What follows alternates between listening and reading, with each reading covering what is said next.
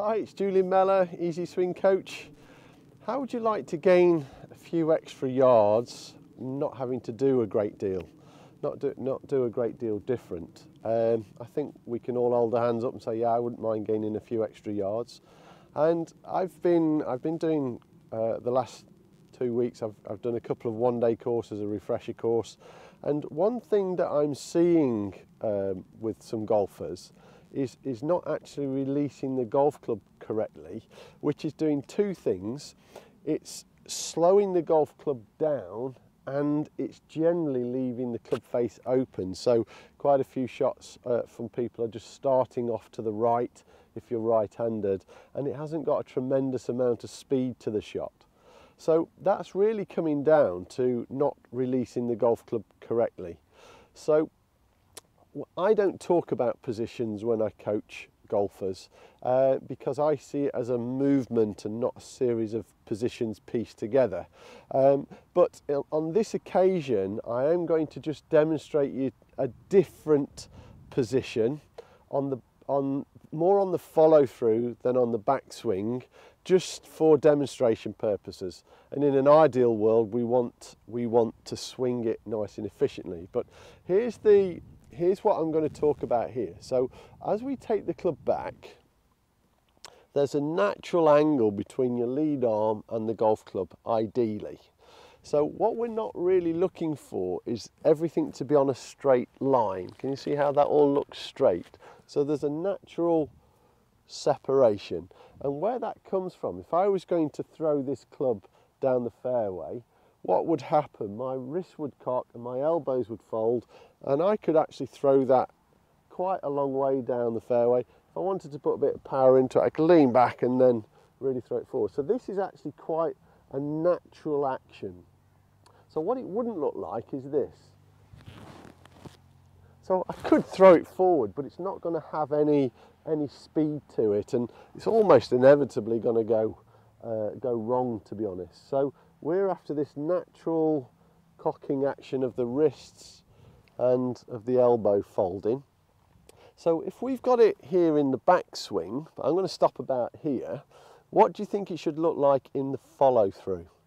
So what I see, this is the problem that I'm seeing with a lot of golfers. So on the way down, I'm now starting to see people holding it. Can you see how my hands are ahead of the golf club? Because everybody's talking about shaft lean now, but through experience, what we're seeing here is a lot of shaft lean, but never releasing the club face. The club face is wide open.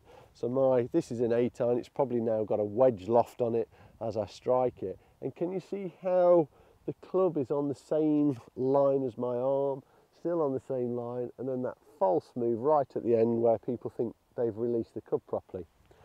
So how does this look? So it's, it's the angle is set here and it's repeated on the follow through. So I'll try and do that nice and slowly. Now, this is not flipping the wrists. If you stop the body, the hands will flip or the club face will flip. They'll overtake your hands and then the, the ball will go way left. So if the body stops, yes, I would agree that this is a flipping action, but we don't do that because we turn the body in the same time, but now we want that lovely wrist release. Really made much easier if the grip is relaxed. If this is locked up tight, there's that holding action. And it's, I'm going to try and hit two shots. I don't know if you'll hear this any different on the camera, but now I've gone tight here and I'm going to hold it in the follow through.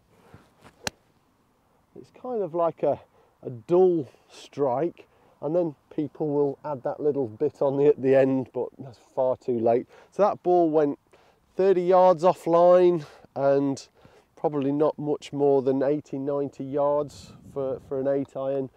Put quite a bit of force into it but no speed whatsoever. So now I'm just going to release this. And I'm going to do I promise you I'm going to do a little tap. Um, Again, I'm not sure if you'll hear it or not, but uh, let's give it a go.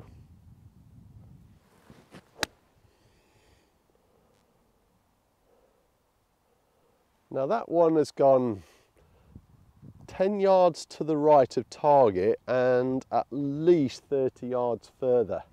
Uh, and that's really happening because I've increased my club head speed, but I've also squared the club face up back at impact rather than holding it open where we get that club face pointing to the right and increasing the loft. So now I've come back to an 8 iron loft when I've struck it and I really didn't put a lot of effort into that one or I didn't put a lot of speed into that last shot and it just flew off and I'm into that nice release position rather than hold, hold, hold, hold, hold, flick at the end. That's where we're just releasing the wrist, but it's all too late then. It's the ball's long gone by then. Let's just hit hit one more shot here. Just I'm just going to release the club face and through. Yeah, and that's gone 130 with with not a great deal of, of effort to be honest. So what we're saying here is there's a natural um, throwing action here, let's call it a casting action if you want to call it that, if you like casting a fishing rod, but this natural wrist cock here it uncocks to impact and it recocks here again.